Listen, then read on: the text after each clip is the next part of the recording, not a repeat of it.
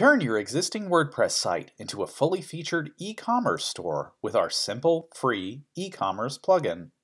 The Selz e-commerce plugin connects your Selz account to your WordPress site, allowing you to add buy buttons, widgets, or even your entire store to your WordPress site, and fully synchronize your inventory. You can install the Selz e-commerce plugin by logging into your WordPress account and searching for Selz in the Plugins section. Install and activate the plugin. Now, you will see the Selz button on your WordPress dashboard. Click here to connect your account by following the steps. Click this option to display the shopping cart on all pages of your website. Next up, edit a page or post where you would like to add your products.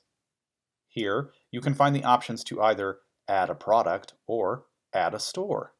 You can click Add Product to include a button or widget that includes your product description and image.